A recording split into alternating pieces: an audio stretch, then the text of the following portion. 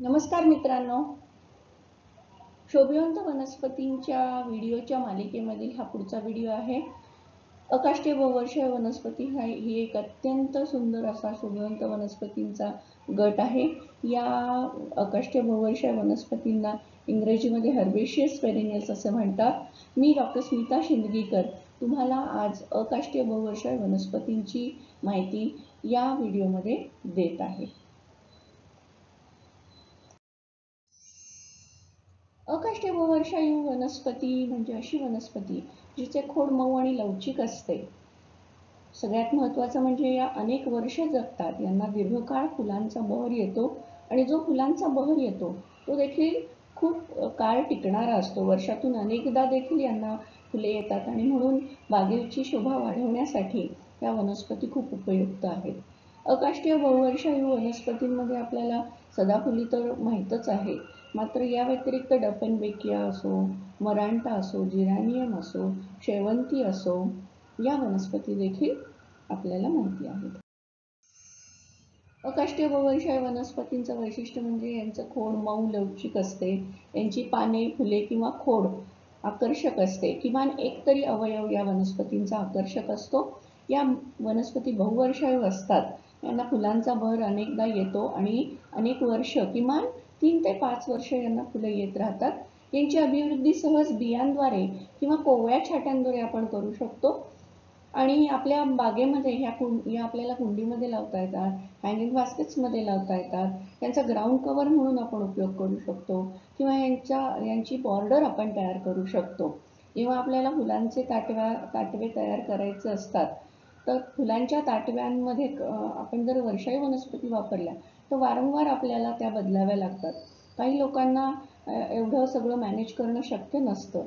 त्यावेळेला ते तीन ते पाच वर्ष टिकू शकेल असा अकाष्टीय बहुवर्षीय वनस्पतींचा ताटवा तयार करतात. आणि हा ताटवा फक्त फुलं येऊन गेली की तो एकदा काढून टाकला की परत परत ह्या फुटत राहतात आणि नवीन फुलं येत राहतात. आणि त्यामुळे बागेमध्ये मेंटेनन्स ला कमी असणाऱ्या या गटातल्या वनस्पती लोकप्रिय आहेत. अकाष्टीय बहुवर्षीय वनस्पती या आकर्षक पानांच्या आकर्षक फुलांच्या आणि आकर्षक खोडाच्या असतात. आकर्षक पानांच्या वनस्पतींमध्ये मरांटा किंवा झेब्रिना आहे कोलियस आहे डफनबेकी आहे ॲग्लोनिमा आहे या खास आकर्षक पानं असणाऱ्या अकाष्टीय बहुवर्षायी वनस्पती आहेत आकर्षक फुलांमध्ये सदाफुली पिवळी डेझी शेवंती जरबेरा कार्नेशियन या वनस्पती आपण लावू शकतो बागेमध्ये. आणि आकर्षक खोड म्हणजे ज्यांचं खोड खूप सुंदर रंगाचं आहे. अनेकदा हे ट्रान्सपरंट म्हणजे असं आरसपाणी असल्यासारखं पण असतं. या खोडावरच्या रेषा देखील आपल्याला दिसतात सहजगत्या. आणि म्हणून यांना आकर्षक खोडाचे असं म्हटलं जातं. याच्यामध्ये जिरानियम कोलियस डफनबेकिया मखमल या वनस्पतींचा समावेश होतो. जिरॅनियम ही अत्यंत सुंदर अशी अकाष्टीय वर्षाई वनस्पती आहे. या वनस्पतीची जी फुलं आहेत ती एकेरी पाकळ्यांची किंवा भरगच्च असतात. याचे अनेक हायब्रिड्स मार्केटमध्ये अवेलेबल आहेत. याच्या पानांना पण वैशिष्ट्यपूर्ण असा आकार असतो. सुंदर पानाची सुंदर खोडाची सुंदर फुलांची ही वनस्पती तर आहेच. मात्र या वनस्पतीच्या पाना फुलाला सुंदर एक असा वेगळा वैशिष्ट्यपूर्ण असा सुगंध असतो. आणि म्हणूनच या वनस्पतीची व्यापारीदृष्ट्या लागवड करून जिरॅनिऑल हे सुगंधी द्रव्य देखील तयार केलं जातं. ॲग्लोनिमा ही आणखीन एक सो शोभिवंत पानांची अशी अकाष्टीय वनस्पती आहे. टॉप टेन ऑक्सिजनेटर प्लांट्समध्ये या ॲग्लोनिमाचा समावेश आहे. इंडोर सजावटीसाठी ॲग्लोनिमा हमखास वापरायला हवा.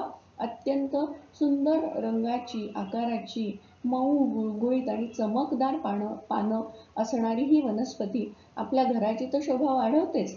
मात्र बागेमध्ये असणाऱ्या मोठ्या वृक्षाखाली सावलीमध्ये देखील ही उत्तमरित्या वाढू शकते आणि म्हणून लँडस्केपिंगमध्ये तिचा वापर आवर्जून केला जातो.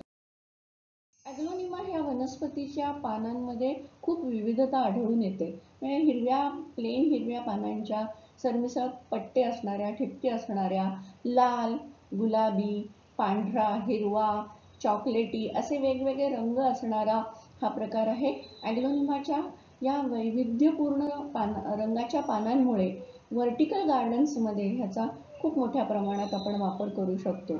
इंडोर सजावट तर आहेच मात्र त्या व्यतिरिक्त याचा व्हर्टिकल गार्डनसाठी तसंच वृक्षाच्या खाली याची लागवड करून त्या वृक्षाची शोभा आणखीन वाढवण्यासाठी आणि बाग सुंदर करण्यासाठी याचा उपयोग होऊ शकतो. कोलियस ही अशीच रंगीबेरंगी पानांची काष्टीय वनस्पती आहे. याची पाने कातरलेली असतात.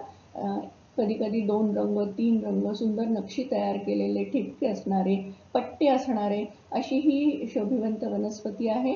सहजरित्या कोवळ्या छाट्यांनी अभिवृद्धीत होणारी ही वनस्पती कार्पेट बेडिंगसाठी खूप लोकप्रिय आहे.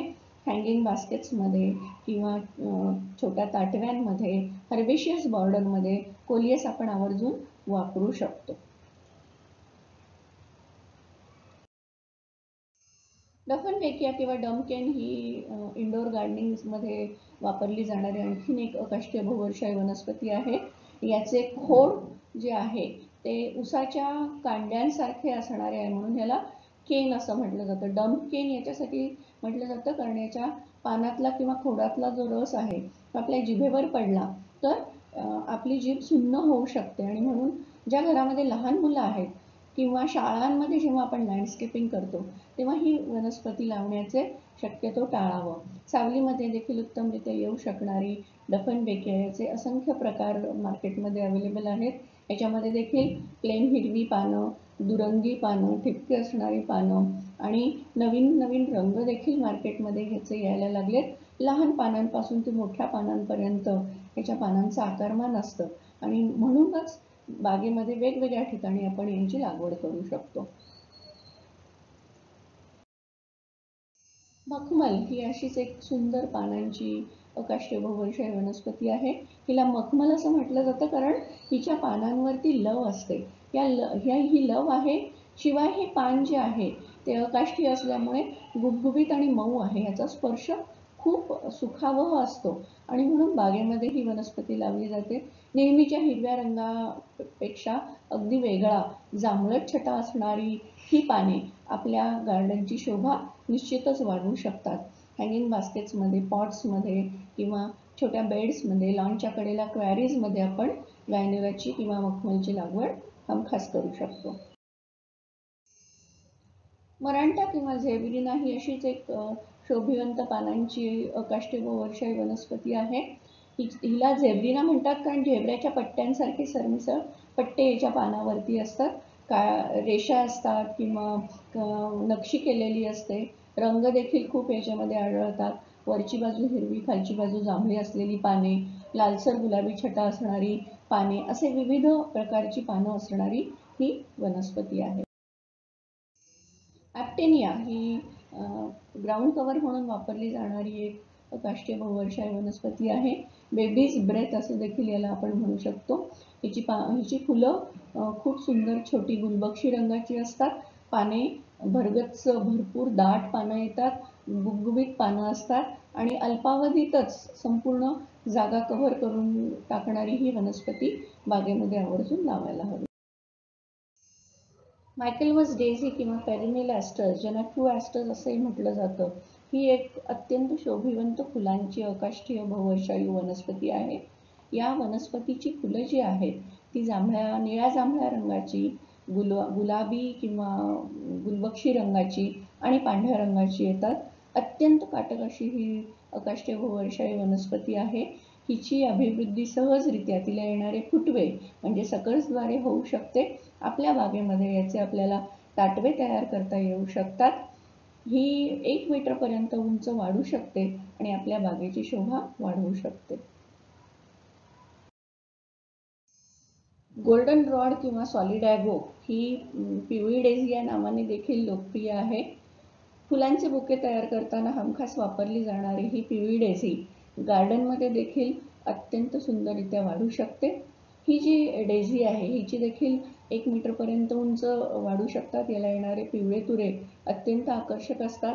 भरगच्च असे हे तुरे आपल्या बागे बागेची शोभा वाढवण्यास निश्चितच कारणीभूत ठरतात. लॉनच्या कडेने जर का आपण याचा ताटवा केला तर बॅकग्राऊंडला खूप सुंदर देखावा आपण तयार करू शकतो.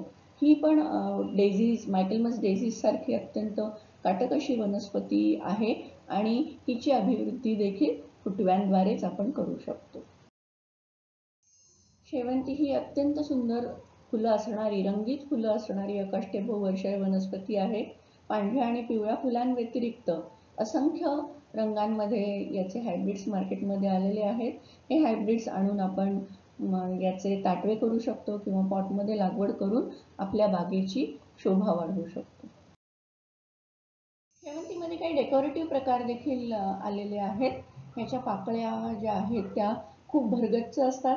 पाकळ्यांचे आकार पण विविध असतात. अगदी दोऱ्याच्या आकाराचे उलट्या किंवा आतमध्ये कर्व होणाऱ्या पाकळ्या चमच्याच्या आकाराच्या पाकळ्या अशा वेगवेगळ्या पाकळ्यांच्या आकारांमध्ये शेवंतीची फुलं येतात. टपोरी फुलं म्हणजे अगदी दहा सेंटीमीटरपासून ते वीस पंचवीस सेंटीमीटर पर्यंतचा व्यास असणारी ही फुलं गार्डनमध्ये आपण लावू शकतो. पॉटमध्ये लागवड करून फुले आल्यावरती आपण गृह सजावटीसाठी यांची यांचा वापर करू शकतो. अत्यंत महत्त्वाचं असं व्यापारी पीक तर आहेच आहे शेवंती पण त्या व्यतिरिक्त एक सुंदर असं लँडस्केपिंगचं पीक म्हणून देखील हे फेमस आहे. जरबेरा ही पण अशीच एक सुंदर वनस्पती आहे. व्यापारी पीक म्हणून लागवड करण्यात येणाऱ्या जरबेरा व्यतिरिक्त लँडस्केपिंगसाठी खास एक रेंज आहे जरबेराची. ह्या जरबे ह्या जरबेरामध्ये मिनिएचर आणि रेग्युलर वाढणारे जरबेरा असे प्रकार उपलब्ध आहेत. या सगळ्यांचा आपण बागेमध्ये वापर करू शकतो.